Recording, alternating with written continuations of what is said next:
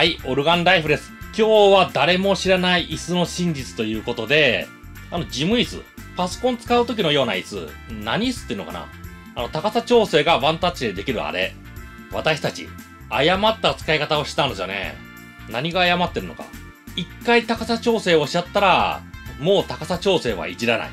それなんですよね。でもこれ、間違えたということがよく考えればわかります。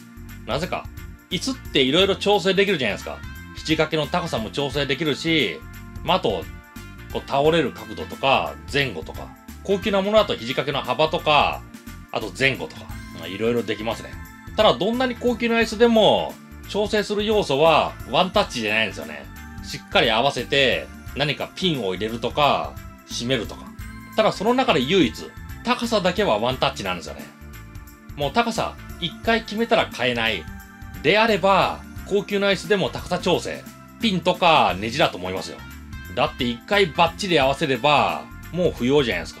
あ、あれは不特定多数の人が使うためだ。であれば、不特定多数の人が使うモデルだけをそうすればいいはず。でも全てのモデルにガスシリンダーがついてる。なぜか。作業するスタイルによって高さが違うからですよ。まずパソコン机作業の場合、みんなそれで合わせてると思うんですけど、高さは結構高めですね。足は床につま先がちょっと触れるか、それか完全にブラーンとなるか。そのどちらかですね。パソコン使うとき、足なんか関係なくて、手のこの高さ、そことキーボードの高さが一致する。こんな感じですね。こうじゃダメ。こうでもダメ。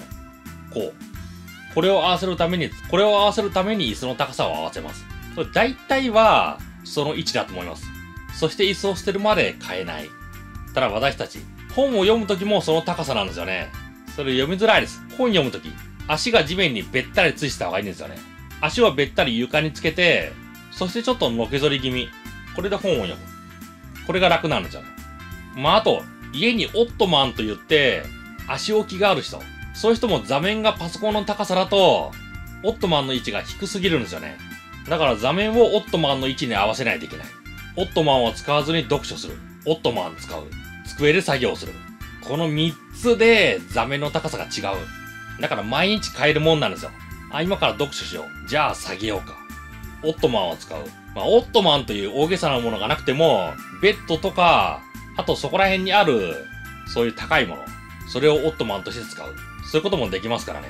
まあ、どちらにしても、座面の高さ、変更が絶対必要です。だからこの動画を見た人、自宅とか職場の事務椅子、PC 椅子、ぜひ高さを作業によって変えてみてくださいよ。あの、簡単に変えれるものだから、共用の椅子でも怒られないですよ。